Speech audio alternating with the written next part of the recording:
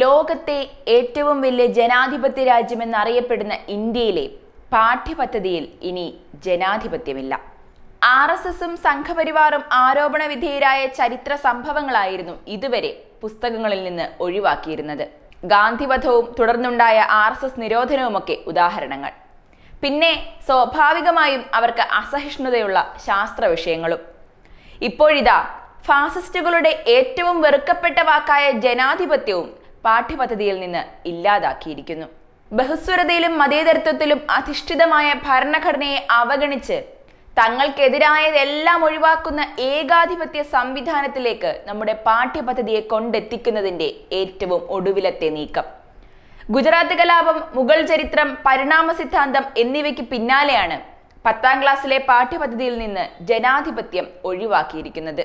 സാമൂഹ്യ ശാസ്ത്രത്തിലെ ജനാധിപത്യ രാഷ്ട്രീയത്തിൽ നിന്ന് ജനാധിപത്യം ജനാധിപത്യത്തിനെതിരായ വെല്ലുവിളികൾ രാഷ്ട്രീയ പാർട്ടികൾ എന്നിവയെക്കുറിച്ചുള്ള മുഴുവൻ അധ്യായങ്ങളും എൻ സി ആർ ടി ഒഴിവാക്കിയിട്ടുണ്ട്. വിദ്യാർത്ഥികളുടെ പഠനഭാരം കുറയ്ക്കുക ഓവർലാപ്പിംഗ് കുറയ്ക്കുക അപ്രസക്തമായതും പ്രയാസമേറിയതുമായ ഭാഗങ്ങൾ ഒഴിവാക്കുക എന്നീ കാരണങ്ങളാണ് ഇതിന് എൻ സി ആർ ടി ഉന്നയിക്കുന്നത്. ശാസ്ത്ര വിഷയങ്ങളിൽ ഡാർവിന്റെ പരിണാമ സിദ്ധാന്തം അടക്കമുള്ള ഭാഗങ്ങൾ ഒഴിവാക്കിയതിനെതിരെയുള്ള പ്രതിഷേധം അതിശക്തമായി നിലനിൽക്കെയാണ് പീരിയോഡിക് ടേബിളും ഊർജ സ്രോതസ്സും അടക്കമുള്ള സുപ്രധാന ശാസ്ത്ര വിഷയങ്ങളും ഒഴിവാക്കിയിരിക്കുന്നത്. ഡാർവിന്റെ പരിണാമ സിദ്ധാന്തം ഒഴിവാക്കിയതിനെതിരെ ആയിരത്തി എണ്ണൂറോളം വിദഗ്ധർ സർക്കാരിന് തുറന്ന കത്തെഴുതി പ്രതിഷേധിച്ചിരുന്നു. എപ്പോഴത്തെയും പോലെ ഈ വിമർശനങ്ങൾ കേന്ദ്ര സർക്കാർ മുഖവിലക്കെടുത്തില്ല.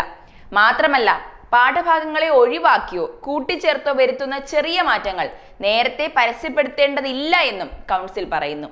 ഔദ്യോഗിക വെബ്സൈറ്റിൽ അപ്ലോഡ് ചെയ്ത പ്രസ്താവനയിലൂടെയാണ് എൻ സി ആർ ടി നിലപാട് വ്യക്തമാക്കിയത്. എൻ ഡി എ സർക്കാർ രണ്ടായിരത്തി പതിനാലിൽ അധികാരത്തിലേറിയ ശേഷം വരുത്തുന്ന നാലാമത്തെ പാഠ്യപദ്ധതി പരിഷ്കരണമാണിത്.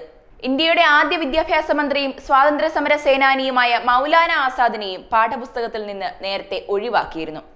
പതിനാല് വയസ്സുവരെയുള്ള കുട്ടികൾക്ക് രാജ്യത്ത് സൗജന്യ വിദ്യാഭ്യാസം ഏർപ്പെടുത്തണം എന്ന വിദ്യാഭ്യാസ പരിഷ്കരണം കൊണ്ടുവന്ന വ്യക്തിയാണ് ആദ്യ വിദ്യാഭ്യാസ മന്ത്രി കൂടിയായ മൗലാന ആസാദ്. ജാമിയ മിലിയ ഇസ്ലാമിയ നിരവധി I I ടികൾ I I S school of planning and architecture എന്നിവയുടെ സ്ഥാപകൻ കൂടിയാണ് അദ്ദേഹം. ആ പേര് സംഘപരിവാർ ഒഴിവാക്കുന്നതിന് പിന്നിലുള്ള രാഷ്ട്രീയം എന്താണെന്നുള്ളത് വ്യക്തമാണ്. ഇത് ഇതാദ്യമായല്ല ആസാദിന്റെ പേര് ഒഴിവാക്കപ്പെടുന്നത്. രണ്ടായിരത്തി ഒൻപതിൽ രൂപീകരിച്ച മൗലാന ആസാദ് ഫെലോഷിപ്പ് കഴിഞ്ഞ വർഷം ന്യൂനപക്ഷ മന്ത്രാലയം റദ്ദാക്കിയിരുന്നു.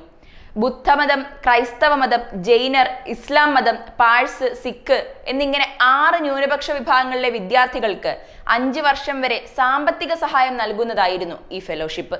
മുഗൾ കാലഘട്ടത്തെയും ജാതി വ്യവസ്ഥയും കുറിച്ചുള്ള ഭാഗങ്ങൾ സാമൂഹിക പ്രസ്ഥാനങ്ങളെക്കുറിച്ചുള്ള ഭാഗങ്ങൾ എന്നിവയും പാഠ്യപദ്ധതിയിൽ നിന്ന് പുറന്തള്ളിയവയിൽ ഉൾപ്പെടുന്നു.